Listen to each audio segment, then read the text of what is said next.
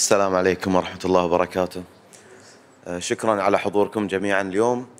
انتهينا للتو من مشاهدة عرض مسرحية روح المرحومة من تأليف أناتولي لوناشارسكي إعداد فيصل رشيد وإخراج خالد خميس.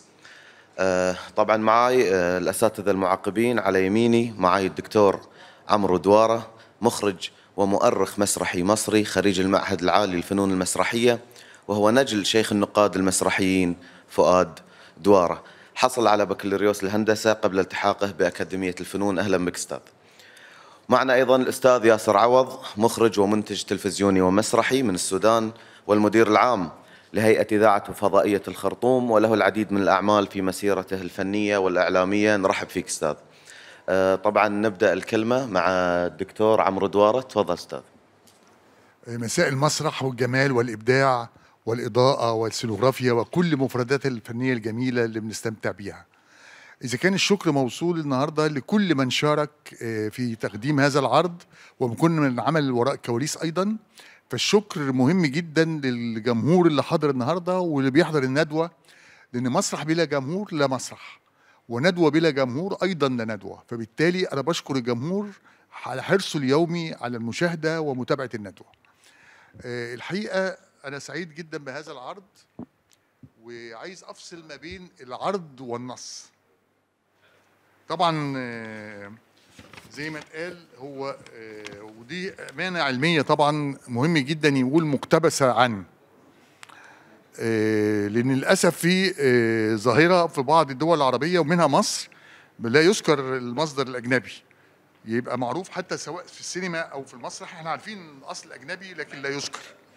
فطبعا ده نوع من الأمانة العلمية مهم جدا ويذكر النص. وطبعا هو طبعا آه، روح ألينارو آه، أو ألينورا ده النص الأصلي. وعايز أقول إنه آه، أنا الحقيقة مختلف بس مع كلمة المسرحية العالمية. هي المسرحية الأجنبية. لأن هو ليس مؤلف عالمي رغم طبعا روسي لكن مش ماكسيم جوركي ولا تشكوف ولا المؤلفين العالميين. ولكن مع ذلك هذا النص الحقيقة قدم كثيرا جدا وهقول الأسباب. آه، آخر مرة تقريبا قدم في قصر ثقافة اللاذقية سنة 2002 في يوم المسرح العالمي في سوريا. 2022 كان آه، مجدي يونس المخرج مظبوط؟ إعداد وإخراج. وغالبا هذا النص لما بيقدم بيقدم من إعداد وإخراج. وده سبب استمتاعنا النهارده إن فيصل رشيد ما شاء الله يعني يمكن ده هيرجعنا لمشكلة آه، مش هي إشكالية أنا شخصيا معاها أن يكون المؤلف مخرج أحيانا أو يكون المعد ممثل بيبقى عنده إحساس المسرح بيبقى دراماتور- دراماتورج حقيقي بالمصطلح العلمي بيبقى عنده إيقاع المسرح وإحساس المسرح. وهو الحقيقة آه، هذا المؤلف هو ممثل وناقد أدبي وصحفي وكاتب سياسي بالدرجة الأولى ودبلوماسي. وكان عضو طبعا حزب العمل الاشتراكي وعمل فترة في جامعة موسكو وإن كان هو جام خريج جامعة زيورخ وعمل أيضا كسفير. معظم مؤلفاته الحقيقة مش هنلاقيها في المسرح. عنده تشرق شمس الأناضول حكايات أناضولية. عنده المعرفة التاريخية العلوم الأناضولية. يمكن آه، آه، البروفا حبي ده أقرب حاجة بالنسبة للدراما. وله تجارب الخرافات طبعا العرض بيتناول قضية مهمة جدا اللي هي قضية الدجل والشعوذة والنصب. ربما من أول التجارب اللي قدمت عن هذا النص سنة 66 في القاهرة فرقتين كبار جدا أحدهم كان أيضا المعد والمخرج والبطل فايز حلاوة فرقة حيك الركه كان اسم العرض عفاريت عفريت الست شوقية. فقامت بالبطولة تحية كاروكا وتقدم آه، في فرقة مسرح الفنانين المتحدين آه، إعداد سمير خفاجي وبهجت قمر بطولة فؤاد مهندس وشويكار اللي هو حواء الساعة 12 اتقدموا العرضين في نفس الفترة بالظبط. الحقيقة العرض مغري لأنه كوميدي وبيسمح بمواقف كوميدية كثيرة جدا. ولكن لو حاولنا نشوف بقى النص ونحلل النص طبعا هو نص يندرج تحت كلمة أو تصنيف الكوميديا السوداء. اللي بتعتمد على كوميديا الموقف اللي بتكشف كثير من الزيف والكذب والخرافات. ولذلك آه، مهم جدا آه، أنا الحقيقة بقول دايما كلمة اقتباس بترجعنا لورا مع بدايات المسرح في نهاية القرن 19 وبداية القرن العشرين آه، حيث بدأ المسرح العربي الحديث من خلال التعريب والترجمة الترجمة طبعا الأول ثم التعريب في مصر بدأ بالتمصير في لبنان اللبنانه فأصبح في اللهجة يعني هذا العطر أنا أتصور دي النسخه القطرية وليست النسخة العالمية نسخة قطرية خاصة جدا بقطر الحقيقة. ونجح الحقيقة فيصل رشيد بنجاح شديد جدا ويمكن سبب إحساسنا بسرعة الإيقاع ومهارات الممثلين لأنه صعب يلاقي أربع ممثلين عندهم مهارات كوميدية والكوميديا من أصعب أشكال المسرح طبعا محتاجة مهارات خاصة جدا. لكن لو بدأنا في نشوف النص هنلاقي إن إحنا من أول لحظة بما إنه آه، الفصل الواحد أو الفصل القصير في سمات للفصل القصير إنه يبقى سريع جدا الايقاع ويبقى الجمل تلغرافية في الحوار ويبقى بنبدأ من الذروه ما بنبدأش لسه بقى في تمهيد ولا آه، مونولوجات ولا رسم شخصيات. يمكن هنلاحظ آه، لو ركزنا شوية هنلاحظ أهم شخصية مرسومة بدقة في أبعادها واضحة جدا وأنا شايف إنها الشخصية الأساسية شخصية ليلى اللي فيها المفارقة. إن عرفت بذكاء والمؤلف مهد لها إنها كانت ذكية وفي المدرسة بيقولوا اللهلوبة وكانت شاطرة وفي فرحله الاعداديه وإنها ذكية جدا عرفت تكسب آه، محي الدين وتقنعه إنه يتجوز اللي شبهها ويديها ثروة ويديها مال. وفي نفس الوقت عرفت تتعامل مع الدجال وتهدده بالصحافة وتهدده بالبوليس ويعني فهمت تلعب اللعبة صح وتوظفها لصالحها. فهي شخصية مرسومة عكس باقي الشخصيات من أول لحظة مفهوم إن هذا دجال ومن أول لحظة آه، حتى يمكن كان في شخصية هامشية لو لغيناها لن تؤثر على العرض. إحنا دايما بنقول في الفصل الواحد بالذات محتاجين تركيز. ومفيش شيء في المسرح مجاني. لو لغينا المرأة الأولى اللي هي الزبونة الأولى اللي بتقول إن زوجها بيراها عنزة وهو بيشوفها بقرة ومش عارف إيه وبتقول له كل مرة بتقول الكلام ده وما بيحصلش لو اتلغت مش هتأثر في الحدث الرئيسي للعرض ككل. لكن هي مجرد عشان تدينا فكرة إن هذا هو الدجال. فالشخصيات من أول لحظة هنلاقي شخصية محبوب مثلا هو المساعد. آه، أنا شايف لولا مهارات الممثل كانت تبقى شخصية هامشية لكن هو قدر يحاول من خلالها وشخصية محي الدين برغم أيضا أبعادها وان واي كبعد نفسي واجتماعي واضح من أول لحظة لكن مهارات الممثلين هنا عالية جدا وزي ما بقول المعد لأنه ممثل ومدرك وهو كاتب جملة الحقيقة استوقفتني جدا. تم الإعداد بالاتفاق مع المخرج. دي نقطة في منتهى الأهمية. اذا هو بيكتب وعينه على خشبة المسرح. حتى في جمل كان بيعتمد فيها بالإشارة والايماءه وجمل غير حوارية كان فاهم إيقاع الخشبة شكله إيه فأنا أعتقد ده كان سر المحافظة على إيقاع العرض. آه الإضاءة الحقيقة توظفت بشكل جيد الموسيقى بشكل جيد واتكملت أيضا وكان في تناغم. أنا الحقيقة فقط في السينوغرافيا كنت أعتقد إن مع التكنولوجيا الحديثة كان ممكن نستخدم ليس فقط الشاشة لكن كان ممكن يبقى في تكنولوجيا آه، أشياء تطلع وتنزل سواء مش سوفيتا أو الجناب تفتح نبقى في إبهار يعني. الخلفية الكبيرة القصر الفخم ده كان يبقى في إبهار آه، بيستخدمه كخدع. حتى الخدع الإلكترونية اللي نار تولع في لحظة وتطفي في لحظة كان يخضنا ويبهرنا إن هو متصل فعلا بعالم الجن. فده كان ممكن يضيف للنص أيضا في السينوغرافيا.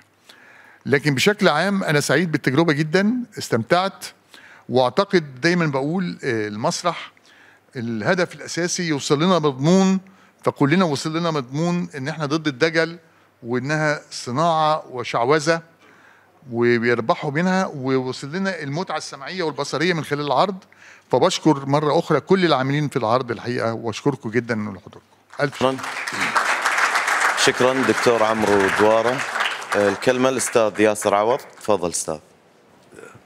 أه شكرا قطر. أنتم تقولون قطر وأنا أحب هذه اللهجة يعني. حد علمه إن شاء الله.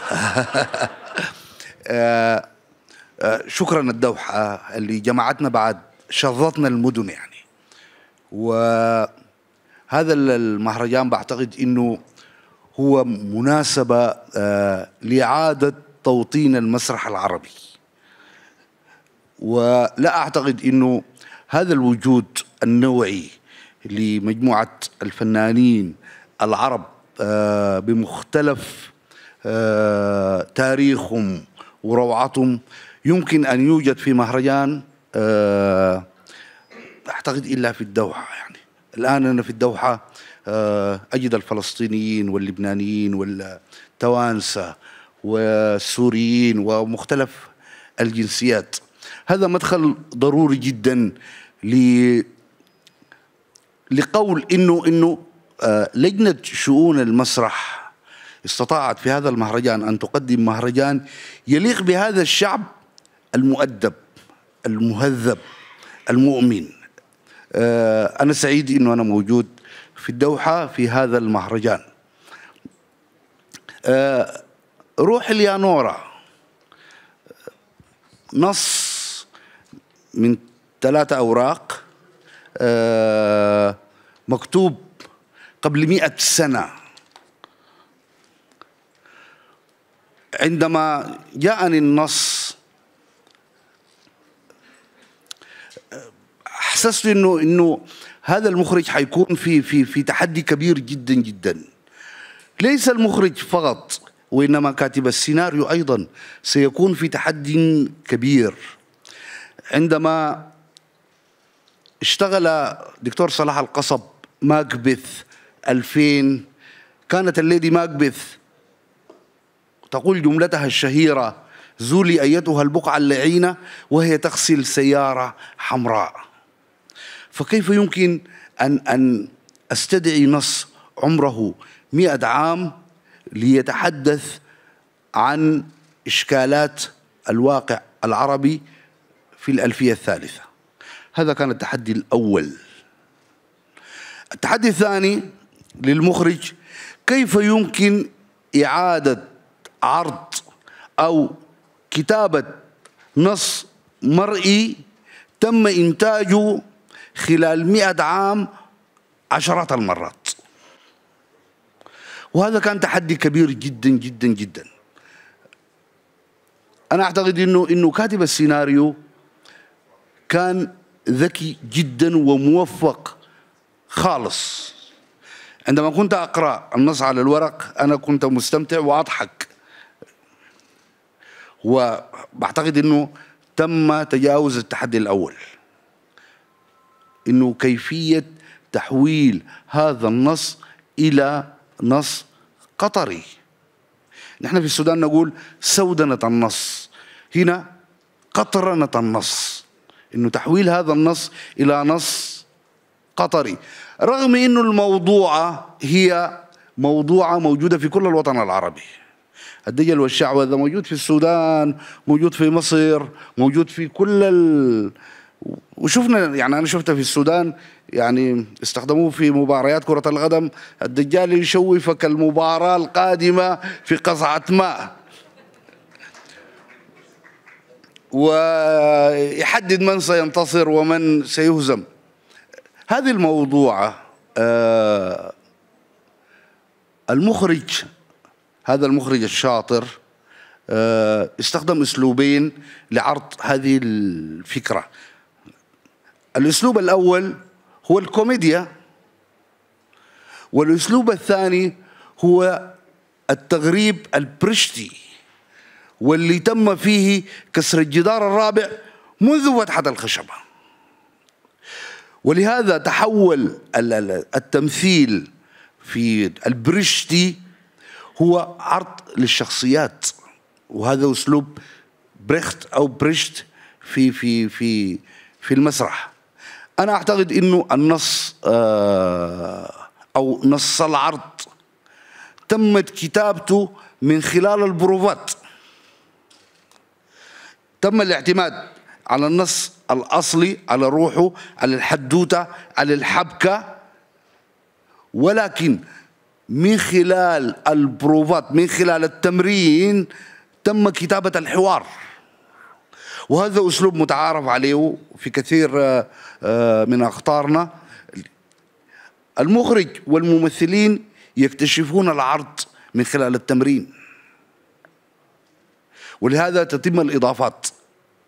أنا لا أعتقد أنه آه، الارتجال تم في العرض.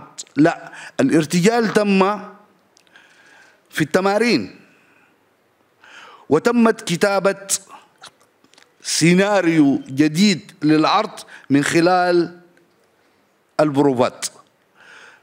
التغريب كان واضح في بناء الشخصيات الرئيسية سوداني هندي قطري آه وضعهم في حدوتة في موقف في في آه فعل درامي. آه بعتقد من هنا بدأت المفارقة اللي قام واتبنى عليها العرض المسرحي.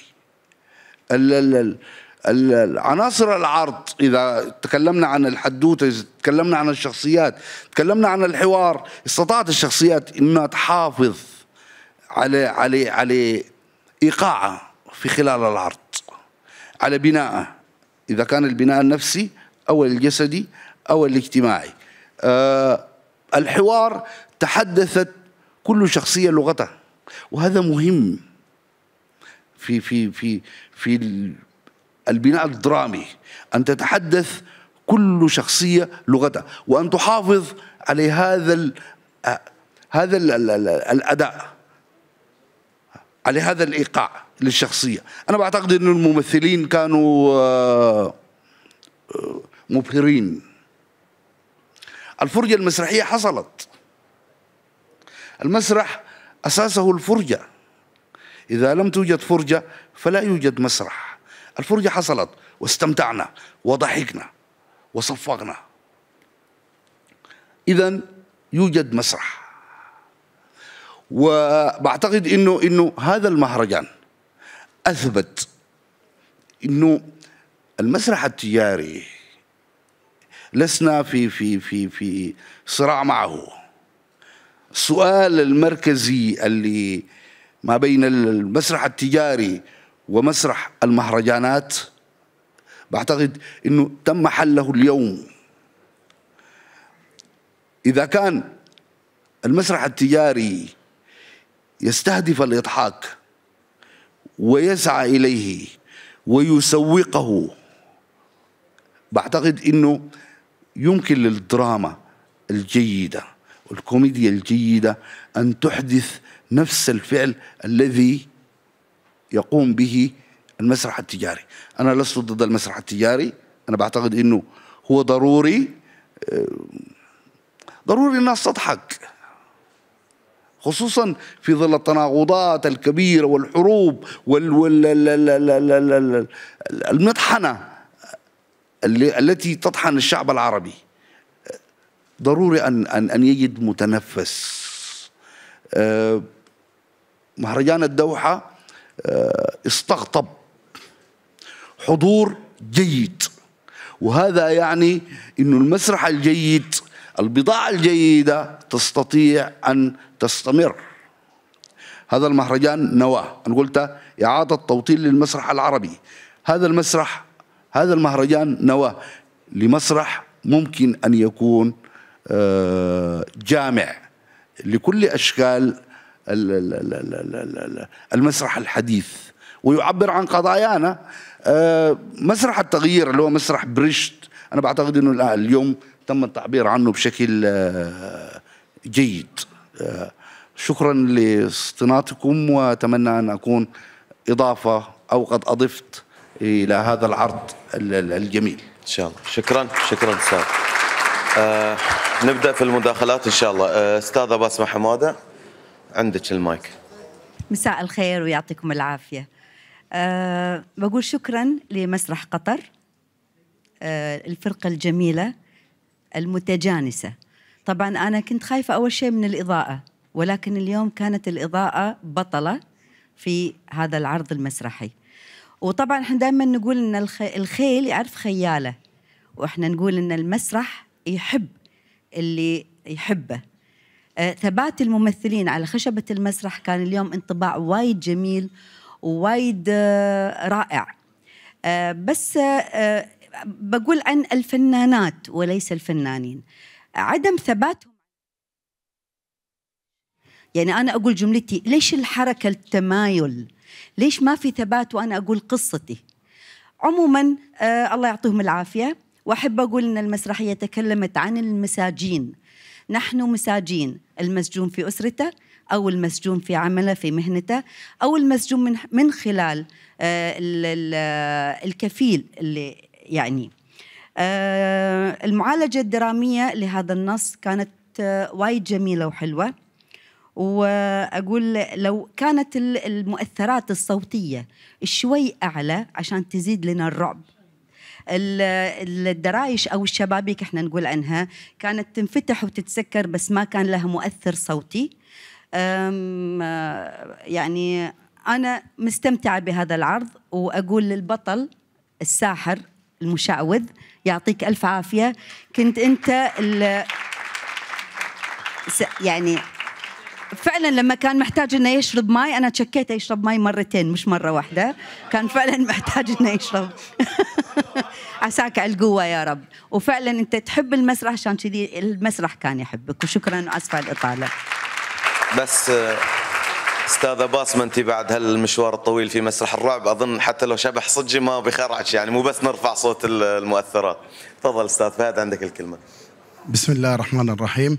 أول شيء أشكر فرقة قطر المسرحية آه، بتقديمها لهذا العرض المسرحي آه، متمثلة في الأستاذ حمد عبد الرضا والأستاذ ناصر عبد الرضا وكل كاست العمل اللي قدموا لنا العرض اليوم. آه، اليوم إحنا دائما نستخدم عنوان كذي نقول اليوم بدأ المهرجان لأني لو قلت هذه الكلمة بيزعلون اللي قبل، لا المهرجان بادي ولكن اليوم أثبت المهرجان فعاليته. اليوم آه، كنا أمام عرض محترف. يعني آه، محترف محترف بكل المقاييس من ابتداء من النص وانتهاء بكل عناصر العرض المسرحي. آه، أنا بتكلم عن الطاقة طاقة الممثل. طاقة الممثل هو سيد العرض المسرحي. علشان نستمتع إحنا دائما آه نعم بنستمتع بكل عناصر العرض المسرحي ولكن يبقى الممثل هو هو من آه ال ال ال الأداة المحركة لكل العرض المسرحي. ال ال ال الفنان والأستاذ ومن تلامذتي وأنا يعني فخور في آه فيصل رشيد كان اليوم مايسترو العرض مايسترو بطاقته الجبارة. طاقة ممثل طاقة جبارة جدا. يعني أعطانا اليوم درس في التمثيل. كيف أنا أقدر أسيطر على هذه الخشبة طوال العرض المسرحي؟ كيف أنا أخلي الطاقة هذه تصل إلى المتلقي؟ المتلقي في بعض الأحيان يشفق وهو يشاهد أي عرض مسرحي. اليوم كان المتلقي هو جزء من طاقة الممثل وهذا مهم جدا. كثير من العروض إحنا نفقد الطاقة. يعني نقعد نشوف العرض ونقول متى بيخلص أو قاعدين نتابع متابعة. اليوم لا هم مدوا لنا الطاقة إلى المتلقي والمتلقي دخل في هذه الطاقة وعاش مع هذه الطاقة وحرك طاقته الداخلية مع العرض المسرحي. وكان فيصل عنده ذكاء في انه كيف يسلم للآخر وكيف يأخذ الجمل الإلقاء عنده بالرغم من من الإلقاء السريع السريع السريع السريع ولكن كل حرف كان باين على خشبة المسرح. وهذه قليل من الفنانين اللي ممكن يتميزون بهذه الميزة. دخول الفنان أيضا آه، محمد السني بطاقته الجبارة والخبرة الموجودة عنده. هذه الخبرة شوف مع أنه كان ما كان ما كانت عنده السرعه ولكن عمل بالانس. توازن ما بينه وما بين الفنان فيصل رشيد كان خذ وعطني خذ وعطني. وكانوا بالعين يقدرون إنهم يعني يباصون بعض. إحنا أنا كنا كنا في أمام مباراة كرة قدم. ما كنا أمام عرض مسرحي. وهذه حقيقة أنا كنت أشوفها. بالرغم إن باقي الممثلين ما كانت لهم مساحات ممكن يشتغلون فيها ولكن أيضا حاولوا بقدر الإمكان إنهم يعني يولدون لنا طاقة على خشبة المسرح. وين المشكلة؟ مشكلات بسيطة وهنات بسيطة في العرض. هن في نهاية العرض كان في ميلو دراما كثيرة كانت هذه يبي لها شوية معالجة. يعني ما كنا محتاجين إن أنا عندي وأنا والميلو دراما هذه ما كنا محتاجينها. كان في ذكاء أيضا الاستاذ محمد السني كان يلحق الإضاءة. الإضاءة كانت بعض الأحيان تهرب منه ولكن على طول يحاول يلحق الإضاءة وهذه يبي لها خبرة واكسبيرينس من آه، ال- الممثلين. ولكن بشكل عام اليوم متعة بصرية ومتعة في الأداء ومتعة في العرض المسرحي. شكرا لكم جميعا. أستاذ صفوت تفضل. شاء الله. بسم الله الرحمن الرحيم. تفضل أستاذ فيصل. أستاذ فيصل اولا نرحب بالدكتور حسن رشيد. الحمد لله على سلامته. وأتذكر دائما عندما يريد أن يتحدث عن فرقة قطر يقول أنا شهادتي مجروحة وبعدين يدر عن فرقة قطر. لكن أنا ما بقولش أنا شهادتي مجروحة لأنه كلنا من فرقه قطر يعني. ف ما أعرف ما أشوف كل وجوههم اليوم مبتسمين كل يوم زعلانين. ويوتروني كل يوم زعلانين يخلوني أتكلم وأقول لأنهم هم اللي يوتروني. لكن اشوفهم اليوم مبتسمين فرحانين خرجوا من عرض جميل ضحكوا تونسوا. نص ده أنا قاري من زمان. آه روح اليان نروى آه الرجل هذا سياسي. هو زي ما قال ال- ال- الدكتور مالوش كثير في المسرح. هو رجل سياسي وكان سفير. وكان من أسس بعد البلفش البلفشية هذه من أسس التعليم. وكان مهتم بالتعليم حتى يقول التعليم والثقافة هم الأساس لتأسيس أي دولة أو قيام أي ثورة. والرجل كان ثوري كبير طبعا وكان شيوعي يعني من الشيوعيين العمالقة اللي كتب عن الشيوعية اللي كتب عن لينين اللي يعني ليس سهلا صاحب الفكرة هذه المسرحية البسيطة اللي أضحكتنا ليس سهلا هذا الكاتب. في رؤى عميقة. عندما أنا قالوا لي فيصل رشيد هذا الشبل من ذاك الأسد سيعمل وسيقوم بإعداد مسرحية. معقول. كيف بيسوي؟ أنا أعرف أنه نص جميل. وين بيروح؟ أعرف تجربة فيصل وإحنا شاهدناها طوال فترة ما بدأ إلى اليوم وإحنا نشوفه. ظل يدي على قلبي في هذا الموضوع. ودخلت إلى العرض وأنا حتى التقيت قبل يوم بالأخ ناصر وقلت له نصكم جميل. لكن كيف؟ كيف أنا بعده؟ إحنا نقول دائما أنه حتى لجنه الرقابة وإلا شؤون المسرح وإلا عندما يخلوا العالم مفتوح. نصوص عالمي عربي. خلوا يقدم. شوفوا النص. إيش هو النص؟ إيش يقول النص؟ ليس بالضروري إنه يكون محلي. المحل بيظهر. أن تحجز أنت مهرجانك بس بعروض محلية وأنه لازم يكون كتاب محليين. لا لا لا لا لا. اليوم شفنا نص فوق النص. شفنا كاتب كتب عن النص هذا نص فيصل بتاتا. يدخل ويروح من الفكرة ويرجع. ويدخل ويروح من الفكرة ويرجع. كأنه هو الكاتب. مشى بجانب النص. ألف نص جنب النص. أنت اقرأوا النص. ما أقول لكم شيء. ألف نص بجانب النص ومشى معه الكوميديا هي أخطر أخطر فن من فنون الدراما. ليه؟ لأن تعتمد اعتماد كبير على الممثل. يا جماعة فيصل رشيد أبهرني. صار ممثلا غير عادي اليوم. رجل ما يمثل الشخصية. ذكرني باربرا لما قال في المسرح الحديث إنه أنت بس تخزن الشخصية هنا. يعني مش يخزن قات لا يخزن الشخصية هنا. يخزن الشخصية هنا وبعدين يروي لنا الشخصية من خلال فيصل. إحنا كنا اليوم نشوف الشخصية من خلال فيصل. ما كناش نشوف الكاركتر اللي كاتبه الكاتب. لعب فينا لعب. وعنده قدرة ما شاء الله عليه الله يطول بعمره ويبعد عنه كل البلاء. إحنا بحاجته كثير. ابداع أمتعني بعد السفرة والبلع حق بداية المهرجان إلى الآن. أمتعني وأقول المسرح القطري بخير ما دام في فيصل وغيره.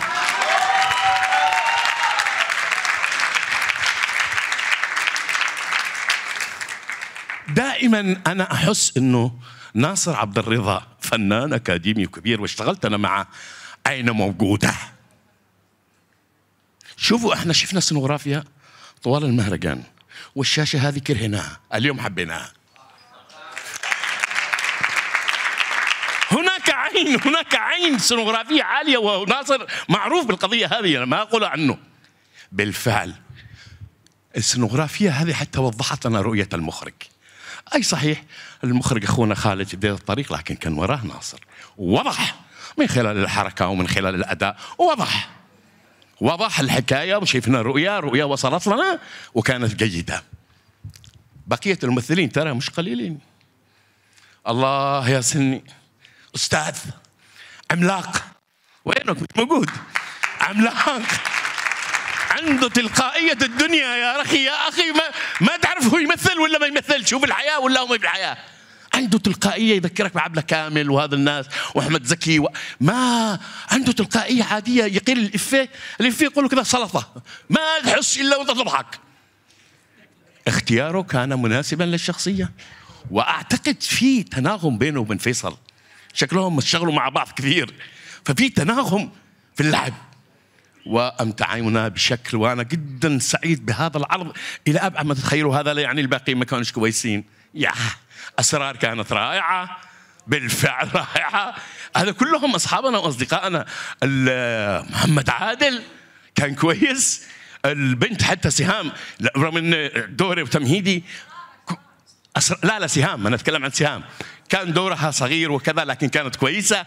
كل المجمل العرض كان جميل لأن أنا تفهت هكذا على الجمهور يمين شمال. وبعدين والله العظيم هذه شفتها بعيني. ومنهم مسرحيين. لا بقول لك إنه عارفين إنه مهرجان بس سعيدين بهذا العرض. أنا أشكر شؤون المسرح حقيقة وأنه جابوا لنا مثل هذا العرض. وأشكر فرقة قطر وعلى رأسها أخونا حمد يعطيك ألف عافية. امتعتونا امتعتونا شوف مش كل يوم زفت. اليوم العرض حلو قلنا حلو. لا تلوموني لما يكون في عرض هنقول حلو عرض لكن هذا لا يعني إنه ما فيش هنات. في هنات كثيرة. مثلا زيادة بعض الحوارات. افيه ما كانش حلو. هذا ده كل شيء بسيط. لكن هذا أنا أتمنى إنهم يعرضونه جماهيريا. يستحقوا يعرضوا جماهيريا. بالفعل الجمهور جدا بيحبكم. أستاذ صفوت آسف إني طولت. شكرا جزيلا لكم. شكرا. آه، الجماعة من هناك. تفضل أستاذ. السلام عليكم ورحمة الله وبركاته. أخوكم فنان من الإمارات بكل أمانة يعني أقول لكم أنا اليوم سعيد صراحة يعني بكل أمانة. شكرا لوزارة الثقافة شكرا لمسرح قطر. صراحة حبيت العمل. أبطال ما في بطل واحد في هذا العمل كلهم أبطال. من المخرج رقم واحد صراحة بكل أمانة والممثلين اللي بعدني ما أعرفهم إن شاء الله بتعرف عليهم أكثر. بكل أمانة اليوم أنا بروح الفندق وأنا مستانس. بتكيف. فعلا عطونا مسرح. إحنا جايين من الإمارات نبغى نشوف مسرح. وشفنا مسرح قطر اليوم. البارحة شفنا واللي قبل شفنا. ولكن مثل ما قال الأخ الشاشة هاي اليوم حبيناها بكل أمانة. ممثلين مبدعين ما شاء الله عليكم. إبداع.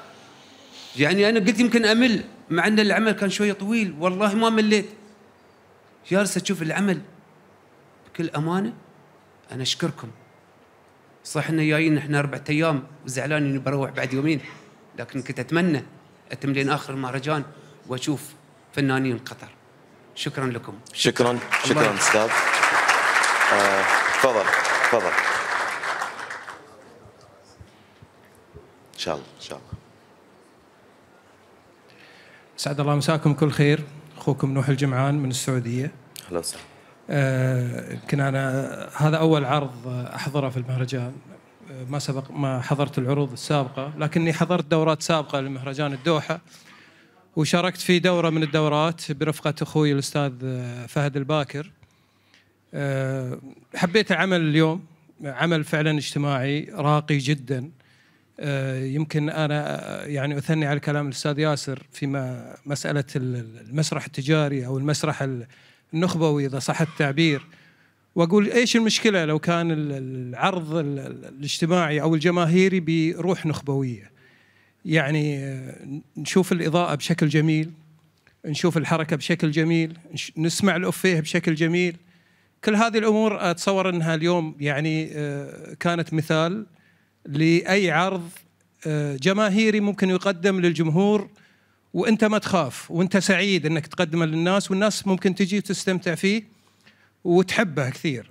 آه، مخرج العمل أستاذ خالد يعني اليوم قدم صور جمالية كثيرة في العرض وتمنيت بس آه، يعني شغلة هو مهد لنا في البداية دخول الجوقة لكسر ال- ال- ال- ال- ال- الحاجز آه، لكن تمنيت أيضا أنه يكون يوظف هذه الجوقة في أكثر من حالة أو في أكثر من مكان خصوصا أنه في مساحات داخل العرض ممكن تتوظف فيه هذه الجوقة.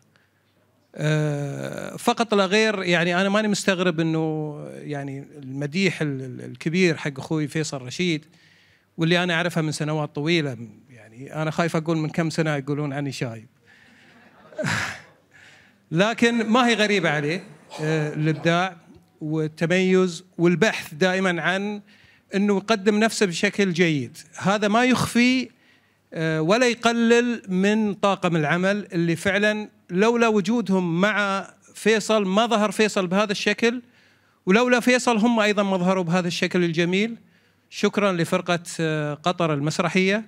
شكرا للاستاذ حمد الاستاذ ناصر عبد الرضا إنهم يعني يمكن هاليوم هذا أو هذه الليلة كانت ليلة سعيدة بالنسبة لي إني أجي أحضر مثل هذه العروض. شاكر لكم شكرا وزارة الثقافة ولمهرجان الدوحة المسرحي شكرا أستاذ هبة.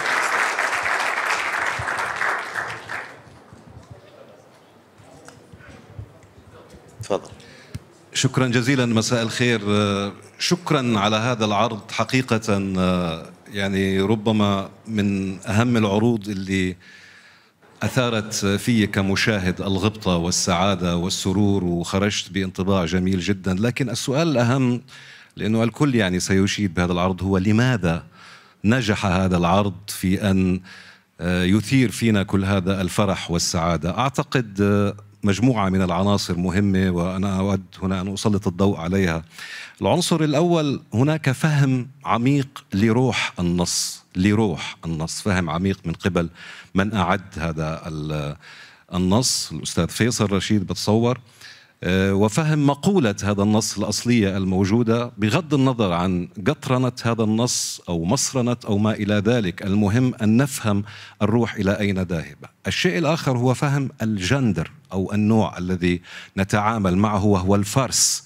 وفهم هذه فكرة أن نحن نتعامل مع عرض فارس هذا يعني أن يكون الإيقاع منضبطا بشكل دقيق. ال timing وال time الوتيرة والإيقاع الفرق بين ال tempo والإيقاع. يعني هذا هذا شيء مهم جدا في عرض من هذا النوع وبشكل عام بالع- بالعروض المسرحية لكن في الفارس تحديدا هذا شيء جدا مهم.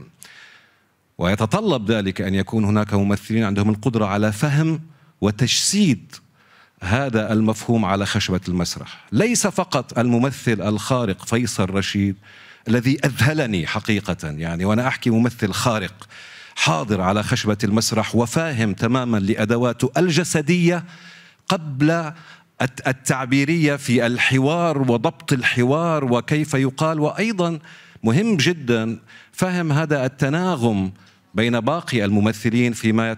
يعني يتعلق بموضوع الإيقاع، حتى حين دخل الأستاذ السني محي الدين اختلفت الوتيرة لكن ظل الإيقاع واحدا، هذا هذا مفهوم البينج بونج الذي ربما أحيانا يتسارع لكن تبقى يبقى هناك في في أخذ وعطاء مناسب لهذه اللعبة. هذا عنصر مهم في في في نجاح هذا العرض، عنصر آخر ربما يكون أقل أهمية آه، ما يتعلق ب تتحدثون عن السينوغرافيا لأول مرة كانت موظفة بشكل جيد مع أنني أرى أنه كان يمكن لهذا العرض أن يكون حتى بلا سينوغرافيا يعني بديكور شرطي تماما لأن شرطه الرئيسي هو اللعب الممثلين الذين يلعبون على خشبة المسرح بهذه الطريقة. وفي غياب يعني أي إضاءة أو أي خلفية مضاءة. وواضح أنه تم توظيف هذه الخلفية ولكن بذكاء مجددا بذكاء ضمن قاعة العرض الموجودة المتوفرة هنا في هذا المسرح. لو كان هناك مسرح آخر أعتقد كان سيكون هناك توظيف سينوغرافي مختلف تماما. لكن الأهم أنه لم يعيق يعني هذا التوظيف الذي ابتكر لعرض هذه الليلة لم يعيق العرض الذي آه، ابتكر قبل ذلك. هناك احترام للمسرح هناك إخلاص للمسرح هناك إتقان ل كيف نصنع على خشبة المسرح عرضا مسرحيا يستطيع أن يستقطب الجمهور ويضاهي العروض الترفيهية التي يطلق عليها تجارية التي تستقطب الجمهور؟ هذا عرض يستطيع أن يصل إلى الجمهور ويستطيع أن يكون عرضا جماهيريا وبالتالي تجاريا يمكن الاستثمار به. شكرا جزيلا على المدة شكرا أخ رشيد. أه بس تسمحون لي أه أحب أعطي المايك أه لشخص كان معنا من عرفنا المسرح كان أول الحاضرين في كل دورة وفي كل مهرجان وافتقدنا حضوره في الأيام الماضية. وشكرا لعودتك أستاذي دكتور حسن رشيد عندك المايك تفضل. مساكم الله بالخير جميعا. معلش أول ليلة أحضر. واعذروني. آه، أنا ما راح أتحدث عن العرض المسرحي. لأن بغيت أتحدث لكن لقيت ولدي أحمد مفتاح وولدي فيصل تميمي وبعض الأصدقاء قالوا لي لا تتحدث. قلت إن شاء الله. خفت منهم طبعا. لقيت صديقي صالح غريب مكشر بوجهه. خلاص ما دام الموضوع وصل لهالدرجة ذي. لذلك أنا سعيد سعادتي بشيء آخر. سعادتي بضيوفنا الأعزاء اللي حلوا على قلوبنا ضيوف أعزاء. أشكر أخي الكبير الدكتور عمرو دوارة هذا الإنسان الجميل اللي ارتبط بالمسرح وأبوه كان أستاذنا اللي درسنا أبجديات المسرح. الله يرحمه. أستاذنا الكبير أسعد فضة ومهما تكلمنا عنه فهو ذلك المحيط اللي علمنا أيضا الأبجديات. أما إذا تكلمت عن أخوي وأستاذي وحبيبي عمرو دوارة فيكفي ما قدمه للمسرح المصري من مجلدات.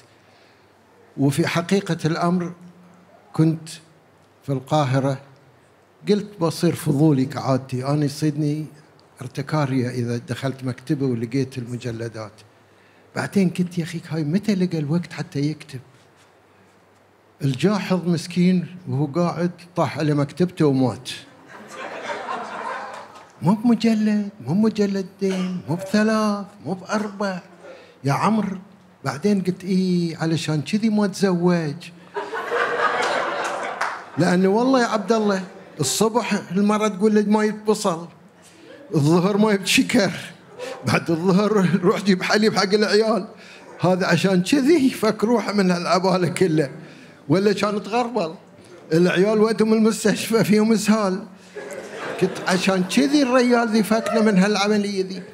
على العموم أنا سعيد إن فيصل ولدي ارتبط بهذا الإطار ولكن النجاح مو لفيصل النجاح لخالد المخرج.